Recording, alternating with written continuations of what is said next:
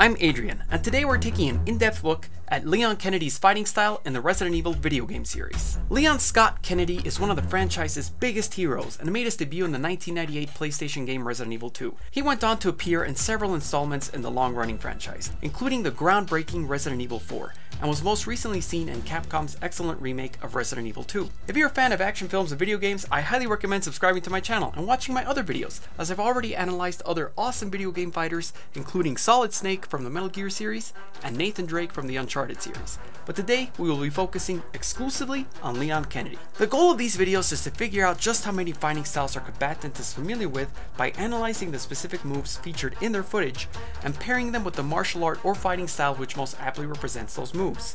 There's a huge amount of crossover in martial arts techniques, and a technique that is present in one fighting style may also be present in another, such as a roundhouse kick being present in multiple martial arts. But in order to not give combatants multiple fighting styles for the sake of variety, I've instead opted to list the most apt fighting style that best represents that particular character, technique, or set of techniques. Also, there are various degrees of knowing a fighting style, and although one may know elements of something, this doesn't mean I'm saying the fighter I'm talking about is a master in every style I mention. I highly recommend playing the Resident Evil games, as this video will analyze footage from Resident Evil 2, Resident Evil 4, Resident Evil 6, Resident Evil The Darkside Chronicles, Resident Evil Revelations 2, Resident Evil Operation Raccoon City, Resident Evil Gaiden, and the Resident Evil 2 remake. That being said, I will keep plot details to an absolute minimum, but do take this as your spoiler warning. Fighting styles that Leon Kennedy may know in any other form of media, such as a live action film, Resident Evil Retribution, or the 3D animated films, do not count. Without further ado, let's take a look at how many fighting styles Leon Kennedy knows. Let's start by analyzing the game that truly propelled Leon Kennedy to superstardom not only within Resident Evil, but the gaming universe as well, and that is the phenomenal Resident Evil 4. After successfully staggering a zombie, Leon can perform a variety of melee moves, and perhaps the most often played animation within the game is this one right here. It's a roundhouse kick in which he's kicking through the target, very much like how Batman executes his roundhouse kick in Injustice 2. By kicking through the target, I mean that after he makes an impact, he continues to spin through and doesn't stop at the target. Both variations are seen in Taekwondo, which is a martial art we will be pairing it with, and it will soon become readily clear why. This move right here is a jump spin hook kick, or Idan Dui Huryo Chagi in Taekwondo. You execute the kick by jumping and twisting in the air and then using your momentum Swing your leg out in a hook-like motion, striking with the bottom of your foot. The next one is a spinning side kick, or Dui Yop Chagi. You spin and then execute the side kick by tucking in your knee and extending it with as much strength as possible. It's a useful kick to not only gain a significant amount of distance between you and your enemy, but the spin adds a layer of unpredictability to it. You could spin into the jump hook kick as we just saw, or spin right into the side kick. It's the reason why spins are so useful in Taekwondo, and you frequently see them in competitions. His next kick is done in self-defense, and so it's modified in certain ways. What he's doing here is executing what is known as a jumping front kick, or Idan Apchagi in Taekwondo. In the regular technique, you kick with the leg you jumped with, but since Leon has already lifted his knee up, as if he were halfway through the technique, he simply lifts his other leg and executes a front kick. His next kick needs no introduction or explanation. You guys already know it by heart. You know its name, know its meaning. It's the undisputable, the astounding, the sensational.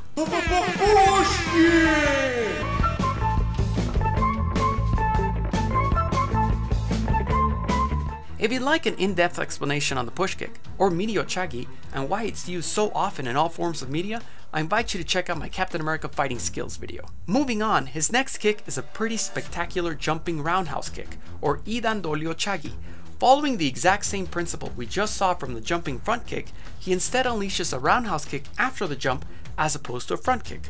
The move can be split up into a jump, then a kick, like Leon does, or it's sometimes seen happening at the same time, where as soon as you're jumping, the kick is flying out. In Leon's case, he furthermore opts to throw his entire upper torso into the kick. This can lead to more power, but as a result, he does lose his footing and ends up on the floor. As such, due to the sheer amount, complexity, and variety of kicking techniques, they all have been grouped with Taekwondo, a martial art which places a great emphasis on such techniques. Leon executes a reverse elbow, but this can also be grouped with Taekwondo as well. This throwing technique is a modified Seoi Nage, or shoulder throw. Typically, you use the arm to be able to throw your opponent over the shoulder, but in Leon's case, he opts to wrap his hands around his enemy's head instead using that as a grip point before he rolls him over the shoulder. Normally your opponent will fall to the ground, but this being a video game, Krauser is launched into the air. similar to Snake launching Cyborg Ninja through the air. The shoulder throw is seen in Judo and Brazilian Jiu-Jitsu, also known as Jiu-Jitsu, but in Leon's case, we will be grouping it with Jiu-Jitsu. US Navy SEALs include Jiu-Jitsu in their martial arts training, and even Marines include Jiu-Jitsu elements into their Marine Corps martial arts program. Therefore, considering that Leon has a background in the US government, it makes sense that he would be trained in Jiu-Jitsu. Leon's next move is this spectacular suplex. He wraps his arms around his opponent and flips him over backwards. It's seen in pro wrestling and judo, but in Leon's case, we will be grouping it with pro wrestling, not only due to its sheer theatricality, but how well it will connect with moves further on in this analysis. Before moving on from Resident Evil 4, I need to mention the epic fight he has with Krauser.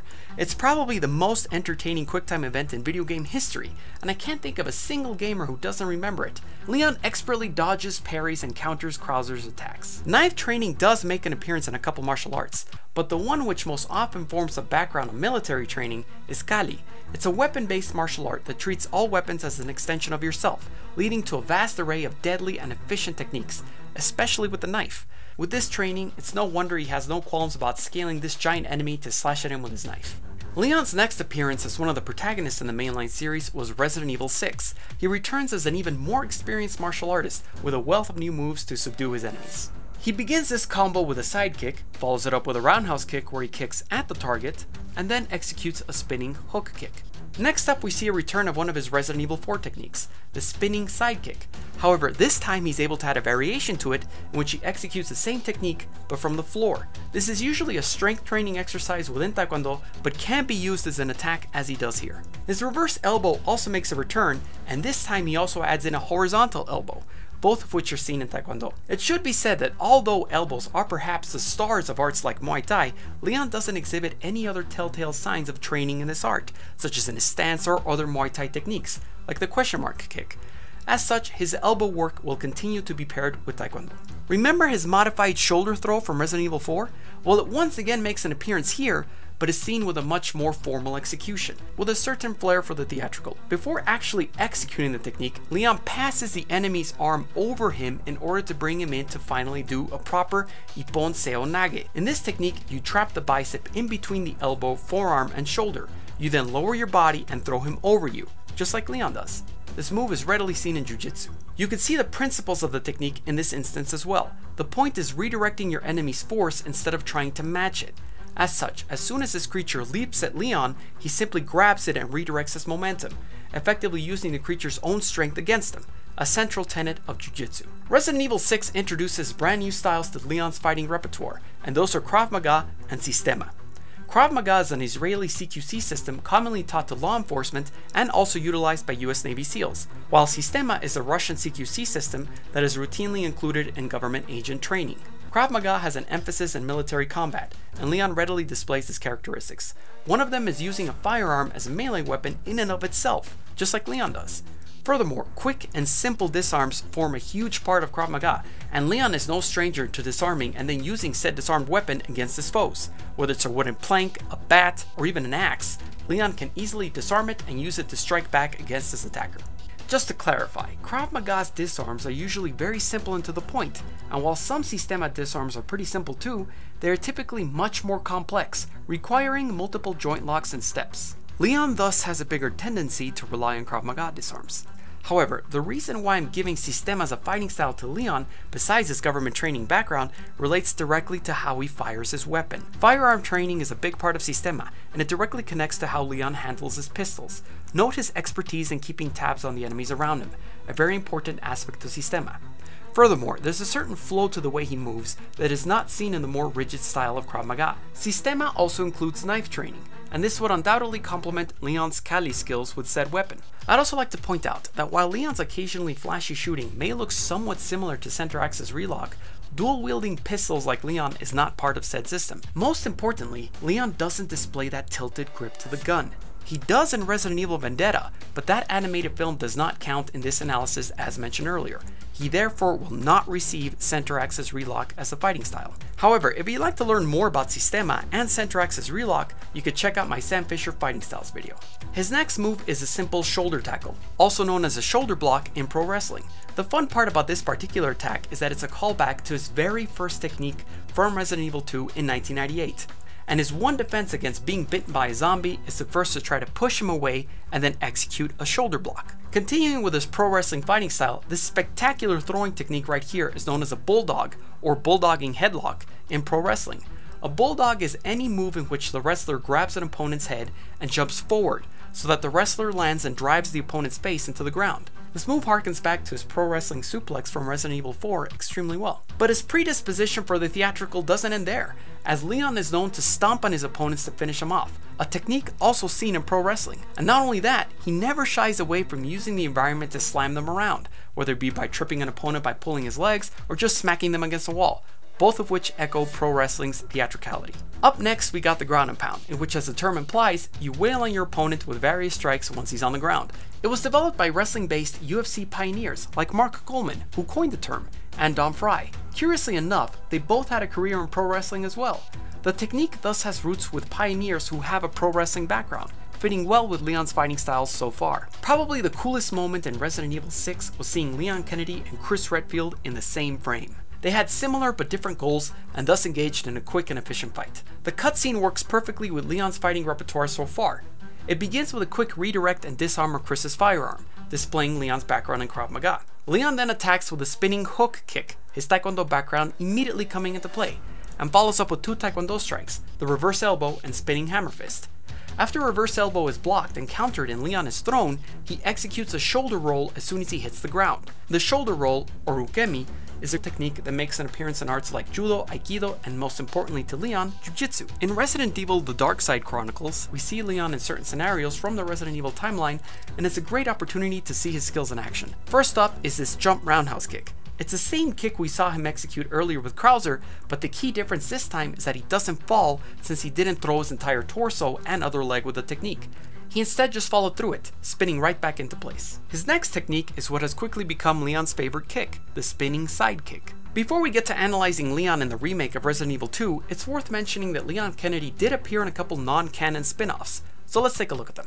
Leon makes a pretty sizable cameo in Operation Raccoon City, and is a playable character in the Heroes mode of said game, with a couple techniques that fall in line with what we've seen so far. He's still a fan of using the knife for quick melee attacks, uses a roundhouse kick and push kick, both from Taekwondo, a stomp and a shoulder block from pro wrestling, along with an extremely theatrical uppercut and hook, just like you'd see in pro wrestling. If you'd like to see a much more in-depth explanation behind this pro wrestling style of uppercuts and hooks, you can check out my Injustice 2 Batman Fighting Styles video. Leon also makes an appearance as a playable character in the excellent raid mode from Resident Evil Revelations 2. His melee is essentially unchanged from the moves we've already broken down in Resident Evil 6. He still uses a reverse elbow to get out of a jam, still uses a sidekick, and opts to use a knife as well. Leon can also acquire and use a katana if certain objectives are completed, but since every other character in raid mode can also equip and use said katana as well, this means the ability to use the sword is absorbed from this special item.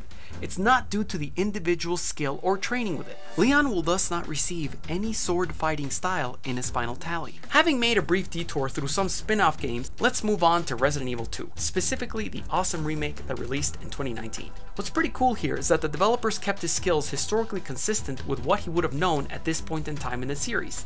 Leon was just a rookie cop. He probably had some basic training, but nothing as complex or advanced as he would show in Resident Evil 4 onward.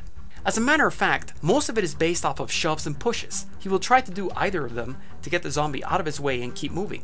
If they're attacking him from below, he'll try to shake his leg off of them. This makes complete sense as you wouldn't expect him to start roundhouse kicking zombies or suplexing them way back when this was taking place. He instead resorts to just using common sense pushes and shoves. In the non-canon Game Boy Color game, Resident Evil Gaiden, Leon's melee move right before he gets into a zombie shootout is also a small shove. Returning to Resident Evil 2, he does have some experience with the knife as he can stab his enemies, but he can't use it as a proper melee weapon yet, as he does in later games in the timeline, and only uses it for self-defense. It is highly unlikely he had any Kali training at this point, so this makes sense too. His actual striking techniques are limited to two specific moves, both of which are from what would become his most often used martial art of Taekwondo. He does use his elbow to strike back at a zombie in self-defense, and he can furthermore execute a sidekick from the floor. Now that we've taken an in-depth look at his hand-to-hand hand skills, we can address his extensive expertise with firearms as well. Besides using them as melee weapons as previously pointed out, as well as being very skilled with pistols, he's also well versed in using assault rifles, shotguns, rocket launchers, flamethrowers, and grenades among other weapons. While I routinely attribute this to combat shooting, Leon would have received more than enough firearms training with his background as a government agent, along with his experience at Krav Maga and Systema. In conclusion, how many fighting styles does Leon Kennedy know in the Resident Evil series? They are Taekwondo, Jiu Jitsu, Pro Wrestling, Kali, Krav Maga, and Systema, for a grand total of 6 fighting styles. I'd like to thank each one of my Patreon members as their contribution helped in the making of this video. If you'd like to contribute and appear in the credits in the future, my Patreon page is Godzillarex and it's in the description below. What do you think of the Resident Evil games? What other characters should I analyze next? Let me know in the comments below, subscribe for more awesome videos, and see you next time.